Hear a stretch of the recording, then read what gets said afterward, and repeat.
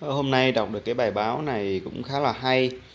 mà muốn chia sẻ với anh chị em và các bạn những anh chị em và các bạn làm công tác chiến lược cũng như công tác gọi là phân tích uh, chiến lược cho cái việc đầu tư dài hạn thì cũng cần lưu ý. Đó là cái bài viết về cái Việt Nam thịnh vượng nhờ cái doanh nghiệp tư nhân trong nước xong cũng cần phải lưu ý những rủi ro.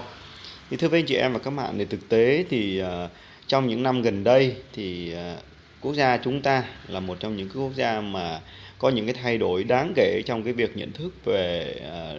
kích thích kinh tế cũng như là nhận thức về việc phát triển à, kinh tế chuyển đổi từ cái việc phụ thuộc vào các cái doanh nghiệp mà nhà nước mà trọng tâm trong những năm gần đây thì chúng ta chuyển đổi theo cái hình thức đó là à, lấy trọng tâm là các doanh nghiệp tư nhân. Tuy vậy thì giữa cái câu chuyện là trọng tâm là doanh nghiệp nhà nước và trọng tâm là doanh nghiệp tư nhân thì nó có điểm giống và khác nhau như thế nào? Và hơn hai hết thì khi mà cái nguồn lực chính của chúng ta dựa vào cái trọng tâm là doanh nghiệp tư nhân à, trong nước thì chúng ta cần phải lưu ý những cái điểm rủi ro nào à, đề phòng trong những trường hợp mà có thể xảy ra trong thời gian sắp tới. Thì à, theo à, chia sẻ với cái, tiến sĩ Huỳnh Thế Du thì ở đây là ông này là một trong những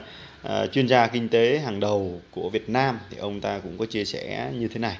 với cái sự thịnh vượng của Việt Nam thì hiện nay dựa rất nhiều dựa rất nhiều vào doanh nghiệp tư nhân. Lấy cái nòng cốt là các cái doanh nghiệp thúc đẩy những chính sách để hỗ trợ doanh nghiệp tư nhân làm cái đầu tàu kinh tế, kéo nền kinh tế đi lên. Và chúng ta không khó để nhận ra hiện nay rất nhiều các doanh nghiệp tư nhân của Việt Nam đã lớn mạnh không ngừng và tận dụng cái lợi thế nhà nước ờ, hỗ trợ cho doanh nghiệp tư nhân đã mạnh lên từng ngày trong thời gian vừa qua. Tuy nhiên thì cái rủi ro rất là lớn ờ, và những cái trục trặc nếu mà xảy ra cho nền kinh tế nói chung và những cái doanh nghiệp tư nhân này nói riêng ờ, thì sẽ tác động rất là nghiêm trọng và tới cái ờ, sự phát triển chung của nền kinh tế. Và ông Du thì cho rằng là từ kể từ khi đổi mới đến nay thì Việt Nam đã gánh chịu ba cái cuộc khủng hoảng tài chính mà điểm rơi của nó đều vào năm thứ 9 của một thập kỷ và theo ông Du thì nguyên nhân chính là một số ít cá nhân đã dùng vốn huy động được trong xã hội đầu cơ vào các tài sản rủi ro hoặc sử dụng ít mục uh, mục đích cá nhân mà không tạo ra các giá trị trong xã hội điều này là hoàn toàn đúng. Bằng việc là cái cái cái khủng hoảng gần đây nhất đó là khủng hoảng ngành ngân hàng. À, đặc biệt đó là khủng hoảng tín dụng nợ xấu liên quan đến câu chuyện đó là mở rất nhiều ngân hàng mới trong giai đoạn trước đó cũng như là đem vốn của ngân hàng đầu tư vào những cái tài sản rủi ro như là vàng như là bất động sản như là chứng khoán và điều đáng quan tâm là cái mức độ nghiêm trọng trong các cuộc khủng hoảng này đã tăng dần theo thời gian. Tức là từ trước đến nay thì những cuộc khủng hoảng sau thì đều rất là mạnh và mạnh hơn nhiều so với những cuộc khủng hoảng trước. Và hiện nay thì đang có những nguy cơ tiềm ẩn lớn cho dù những biện pháp kỹ thuật như các quy định về đảm bảo an toàn trong hoạt động của các tổ chức tài chính hay các cơ chế giám sát cũng như là các cái chuẩn mực về bảo đảm an toàn vốn, bảo đảm an toàn và quản trị rủi ro thì đều được uh, uh, cải thiện hơn và tốt hơn rất nhiều thì do vậy thì Việt Nam cần thiết uh, hết sức cần phải lưu ý những cái điểm khác biệt ở đây trong cái giai đoạn trước và giai đoạn này nó như thế này. Đây là ông Du ông Huỳnh Thế Du uh, ờ, hai mặt của một nền của một nền kinh tế thị trường đây là câu chuyện của một chuyên gia đây không phải là câu chuyện nói nói chơi và có thể nhiều anh chị em và các bạn trong cái công tác quản lý cũng như là các cái người quản lý trong các doanh nghiệp chưa nắm thì ông Du cho rằng là thực tiễn của nhân loại đã chứng minh để cơ chế thị trường được dựa trên lòng tham và sự ký vị ký của con người thường là cách thức phân bổ nguồn lực xã hội hiệu quả nhất. Tuy nhiên thì thị trường cũng có những khuyết tật của nó ờ, do lòng tham và sự vị kỷ của con người gây ra. Ví dụ như cuộc khủng hoảng tài chính trên thế giới đã xảy ra cũng có nguyên nhân như ở Việt Nam, tức là khi mà cái việc mà người ta bị mất vì cái nhận thức rủi ro, người ta cho rằng là mọi thứ sẽ lên mãi mãi à, và không bao giờ dừng lại Điều này cũng đã được chứng minh ở Việt Nam từ khi đổi mới đến nay. Những kết quả kinh tế có được phần lớn là nhờ sự hoạt động hiệu quả của thị trường. Tuy nhiên, nhiều trục trặc nghiêm trọng đã xảy ra do lòng tham và sự vị kỷ con người gây ra ở điển hình là cuộc khủng hoảng chu kỳ nêu trên. Do vậy, chính sách công cần thiết cần thiết đối với Việt Nam là một mặt thúc đẩy các cơ chế thị trường hoạt động một cách đúng nghĩa và hiệu quả hơn, nhưng mặt khác cần phải lưu ý có các biện pháp à, cần thiết để hạn chế khuyết tật của thị trường. Và đặc biệt là cái cơ quan giám sát thị trường cần phải hoạt động một cách hiệu quả hơn trong thời gian tới thì cái chu kỳ 10 năm 10 năm liệu có lặp lại hay không thì chúng ta hãy bàn qua một số vấn đề như sau. Khủng hoảng năm 1989 là do nhà nước cho người dân muốn làm gì thì làm, ít nhất là ở khía cạnh tài chính tín dụng. Hậu quả của nó là tháp Ponzi mà à, ở đó tiền của người gửi vào sau dùng để trả lại cho người gửi trước đó chứ làm gì có thể kinh doanh ở mức sinh lời là trên 24% một tháng và tháp này sụp đổ khi không còn người gửi tiền nữa đã xảy ra. Nhân tố gây khủng hoảng và hàng hà hà, hà sa số các hợp tác xã tiến dụng hơn 7.000 mà chúng có thể ví như là bầy cá ờ, lồng tong. Đó là cái cuộc khủng hoảng năm 1989 của chúng ta. Khủng hoảng năm 1999 là do việc nới lỏng các ngân hàng thương mại cổ phần để một số doanh nghiệp biến chúng thành sân sau hay bộ phận huy động vốn để đầu cơ hoặc một số doanh nghiệp câu kết với các ngân hàng để dùng vốn vay ngắn hạn đầu cơ vào bất động sản. Kết quả là rủi ro đạo đức đã xảy ra và trục trặc những ngân hàng hay doanh nghiệp lúc đó cũng đã có quy mô đáng kể, nhưng so với cái nền kinh tế và quy mô tuyệt đối là khá là khiêm tốn khủng hoảng 2009 xảy ra cũng là kịch bản tương tự năm 1999 nhưng mức độ trầm trọng hơn, tình trạng sở hữu chéo đã hết sức trầm trọng và cái chết cũng là do dùng tiền huy động để đầu cơ vào các tài sản như bất động sản, vàng và một số tài sản tài chính rủi ro khác.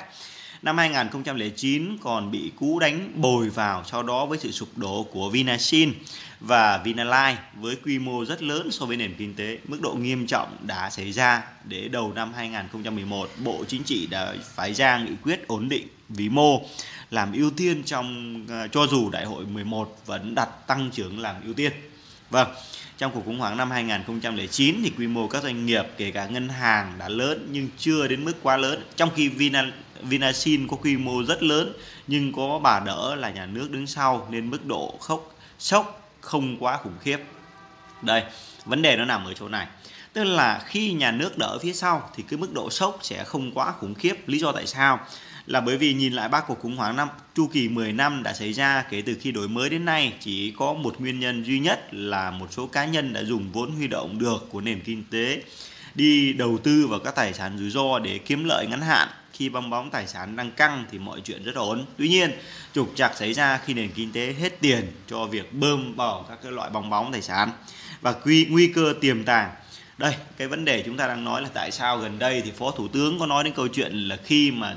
thị trường lên tới 1.220 thì tôi lo lắm nhưng bây giờ tôi mới dám nói. Cái lo của chính phủ là ở đây cái lo của thủ tướng là ở đây. Lo là cái tài sản gọi là rủi ro à, như bất động sản như chứng khoán như vàng được bơm căng căng lên thì chính phủ lo lắm thực sự là rất lo. Thì cái nguy cơ tiềm tàng ở đâu? Như đã nói ở trên kinh tế thị trường là con đường đi đến giàu giàu có của mỗi quốc gia sự thịnh vượng của Việt Nam sẽ phải dựa vào các doanh nghiệp, đặc biệt là các doanh nghiệp tư nhân trong nước. Điều này đúng và đúng theo cái xu hướng tất yếu của thời đại. Tuy nhiên, rủi ro cũng rất lớn và trục trặc xảy ra ở các doanh nghiệp tư nhân trong nước sẽ gây ra tác động nghiêm trọng hơn rất nhiều vì hai lý do sau.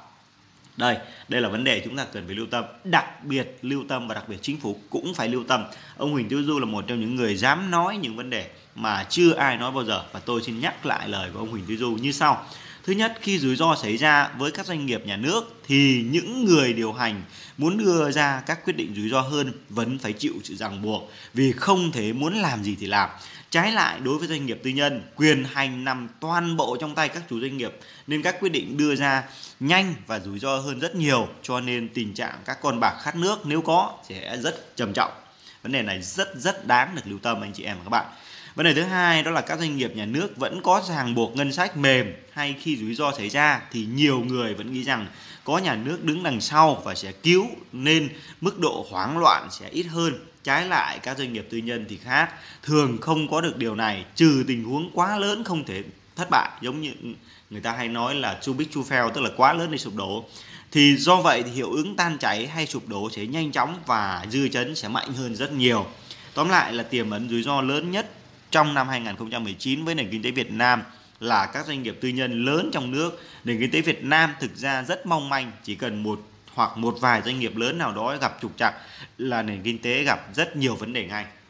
Do vậy, một trong những việc hết sức quan trọng là các cơ quan giám sát phải để mắt rất kỹ đến các doanh nghiệp này. Chính sách quản lý vĩ mô cần phải đảm bảo cho các cái rủi ro đừng xảy ra song song với việc tạo dựng môi trường kinh doanh tốt hơn. Và điều ờ, kết lại trong cái buổi chia sẻ của bài viết hay này thì tôi cũng lưu tâm. Và đây cũng là lời nhắn nhủ với những cơ quan nhà nước, những cơ quan quản lý và đặc biệt là những cơ quan điều hành cần phải lưu tâm rất là rõ nét trong cái việc sử dụng đòn bẩy tài chính, đặc biệt là vốn vay cho hoạt động kinh doanh trong thời gian sắp tới với những doanh nghiệp tư nhân tiêu biểu ờ, trên trong nền kinh tế. Đó là điều chúng ta cần phải lưu tâm. Đừng coi thường và coi nhẹ. Đừng lấy việc động lực thúc đẩy nền kinh tế à, động lực thúc đẩy doanh nghiệp tư nhân để lờ đi những vấn đề rủi ro mà tiềm ẩn trong cái hoạt động kinh doanh, hoạt động sản xuất của các doanh nghiệp tư nhân. Để chúng ta đề phòng trước, chúng ta là cơ quan quản lý, là bàn tay vô hình, chúng ta cần phải quan tâm và đặc biệt quan tâm tới những vấn đề để chúng ta có thể điều hướng đúng lúc, để có thể điều chỉnh